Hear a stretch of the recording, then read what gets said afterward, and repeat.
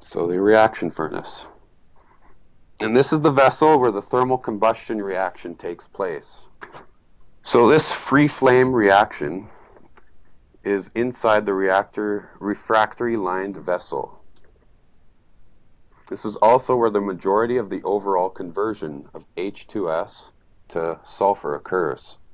And that can be anywhere from 50 to 75% conversion. Our temperatures can be anywhere from 900 to 1350 degrees Celsius. 900 is a little cold. That's kind of our minimum stable flame temperature. We like to recommend 1050 in a gas plant, and that's to ensure all our BTEX and other contaminants are destroyed. In a refinery where there's the SWS feed stream containing ammonia, we recommend 1150 minimum, and that's to destroy the ammonia. Now there's many side reactions in the reaction furnace, and these all create unwanted products like CO, H2, and then the main ones, COS and CS2. The sulfur vapor created in this is in the form of S2. And like I mentioned before, for sufficient flame stability, we want a minimum temperature of 900 degrees Celsius, which is 1650 Fahrenheit and temperatures above 1050 are desired for adequate destruction of contaminants like BTEX, mercaptans, NH3, cyanide, and methanol and hydrocarbons.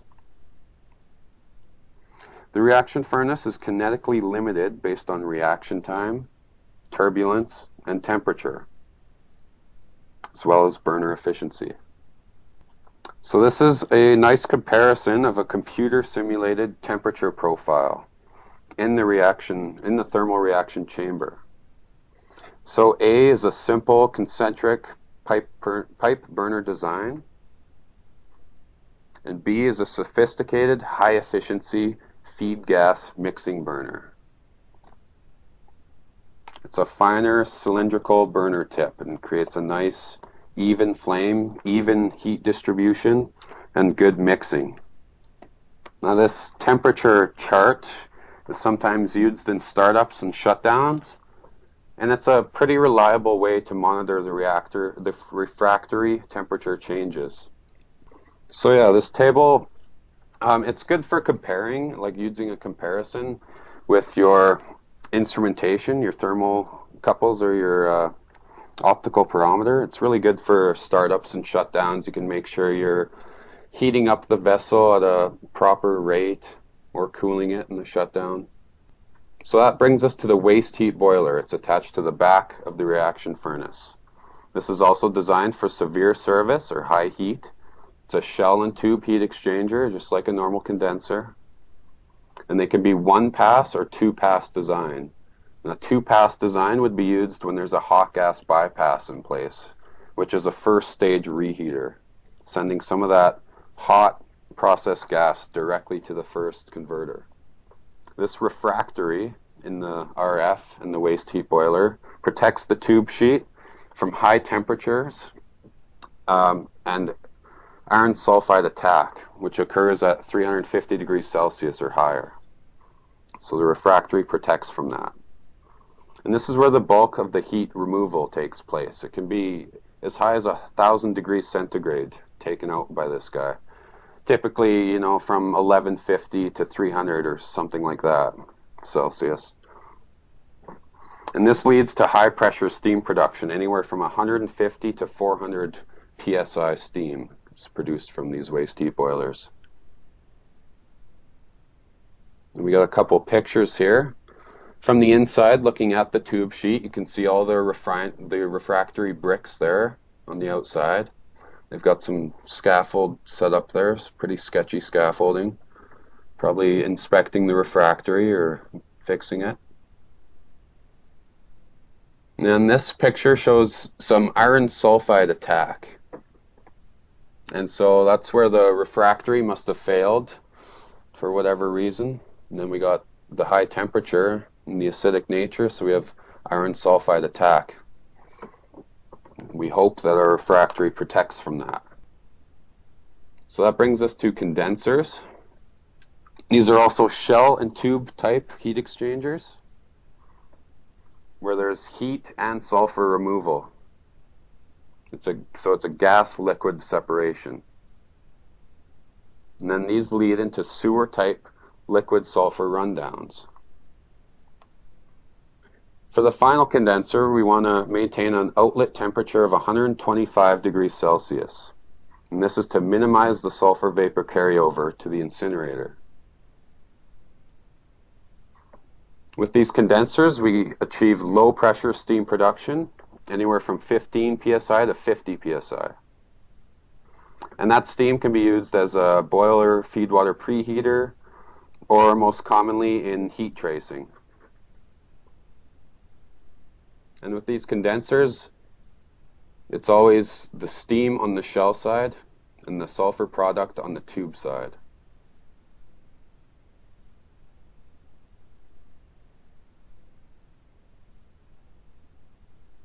So now we get to take a look at a seal leg here.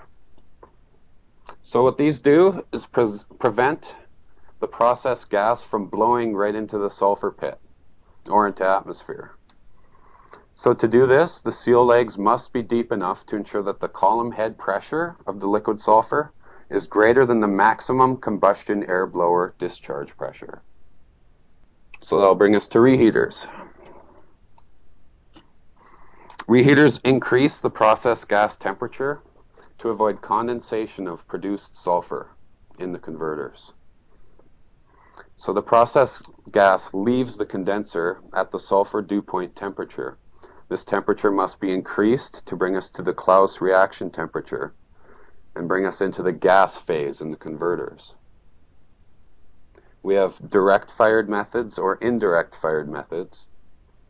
And with these, the key thing to remember is that we're trying to maintain our 2 to 1 ratio throughout the entire SRU. So you can probably guess which ones are going to affect the ratio and which ones aren't. Direct fired reheating methods. So we'll talk about some pros of these.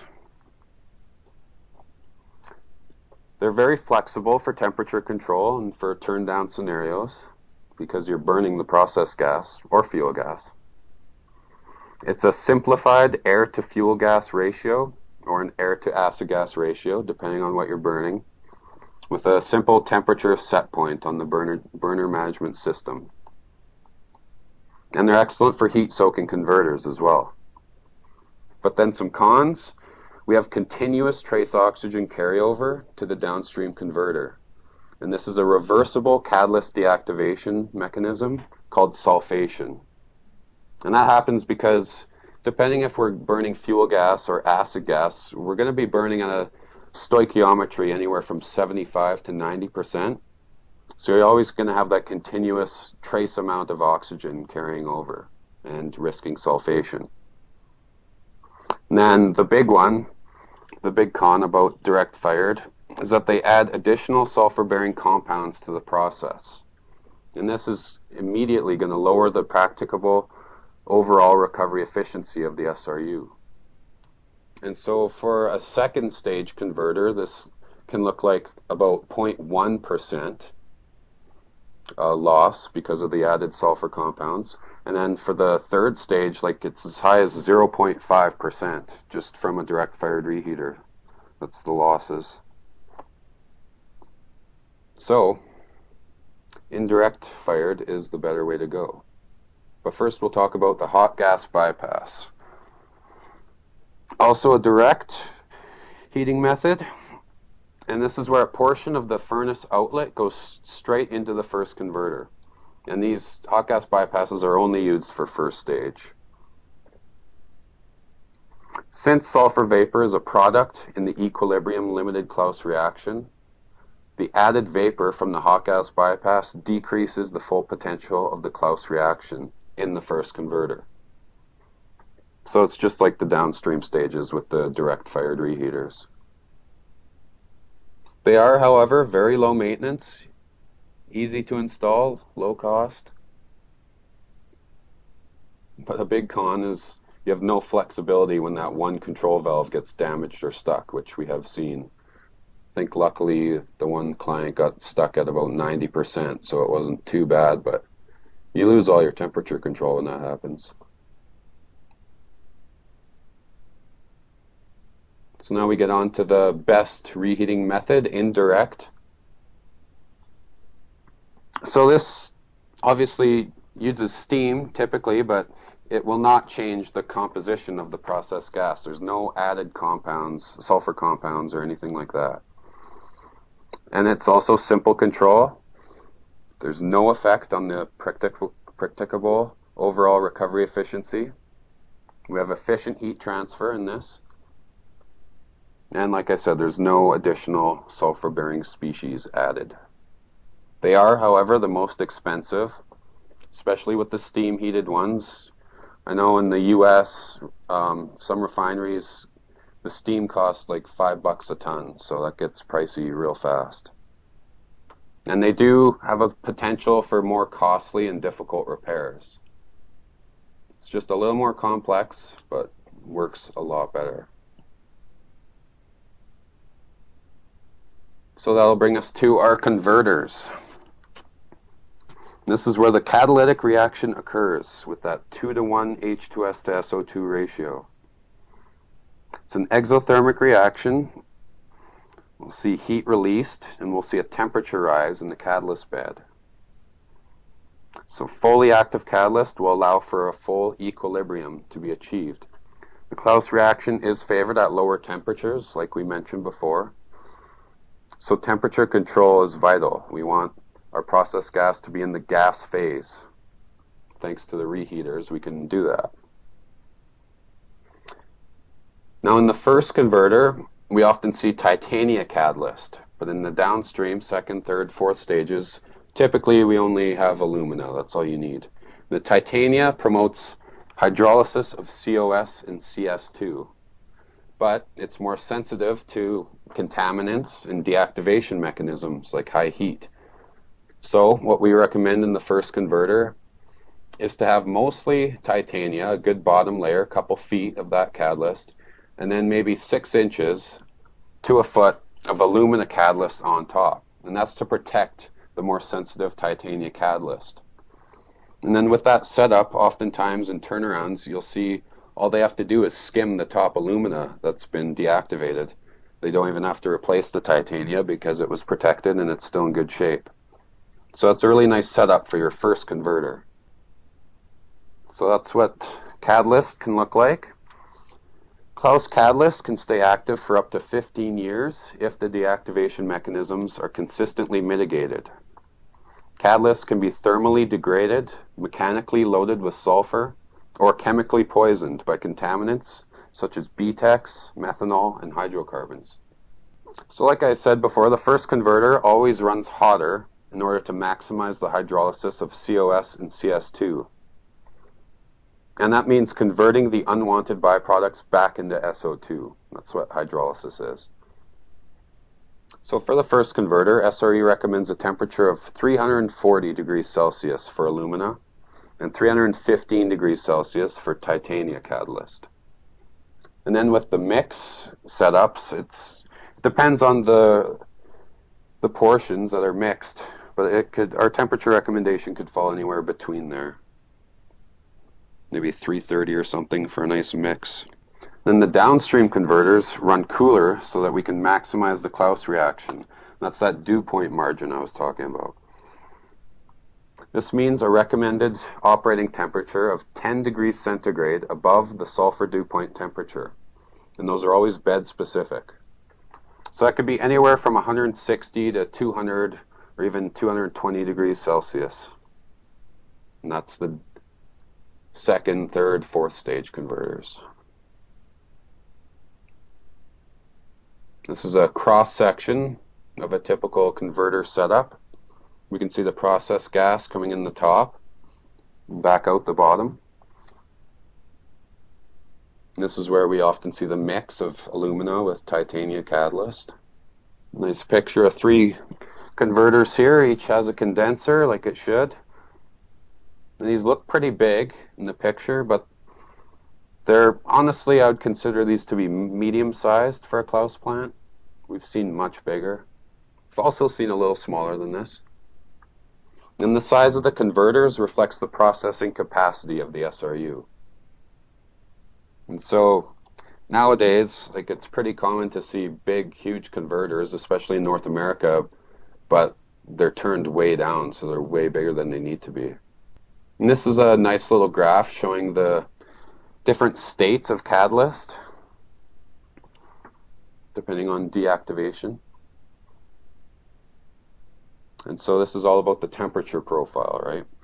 So the top curve, the A curve, shows a temperature rise for fully active catalyst, where the reaction happens in the top layer. So top layer is fully active, and then we hit equilibrium pretty quickly. The second curve shows some partial uniform deactivation where the reaction just takes a little bit longer to reach thermal equilibrium. Doesn't quite achieve it in the top layer, so it's going down to the middle or middle bottom layers once it hits the top temperature from the reaction. Then that S-curved, S-shaped curve shows catalyst where the top layers have been deactivated, but the bottom are still active. And that could be due to catalyst poisoning, any sort of deactivation mechanism that happened just to the top layer. Could be from sulfur laydown. And so we still achieve the thermal equilibrium just lower down. And the top layer didn't really do anything on that graph. And then our final bottom curve there, the D curve, shows severe uniform deactivation where the Claus reaction cannot achieve equilibrium. You can see it just didn't didn't hit the same temperature as the other three did, so the Claus reaction was not completed. It didn't hit equilibrium.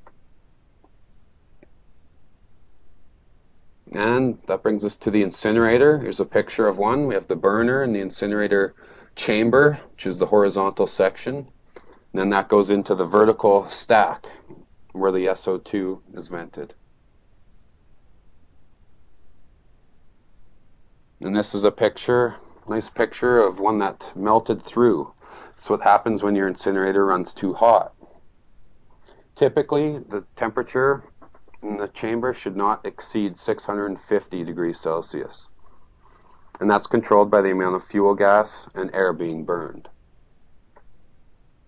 And we'll get to why this might have happened here, I think, in the next slide.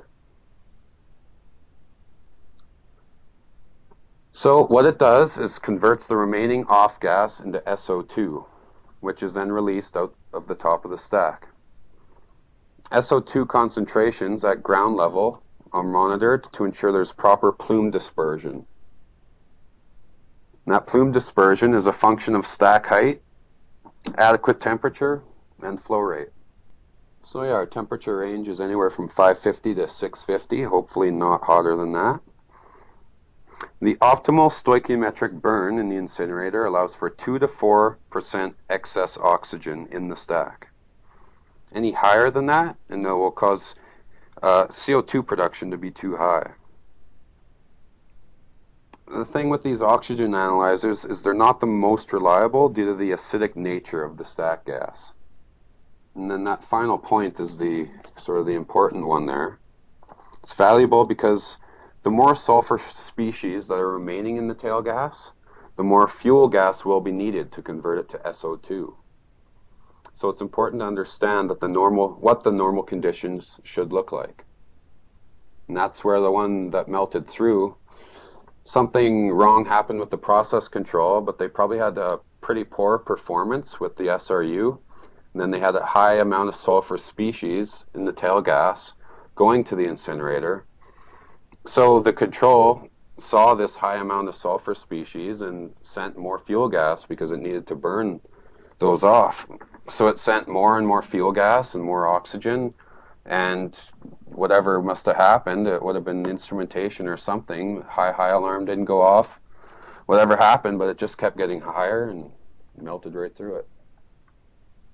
So goes back to the importance of our instrumentation.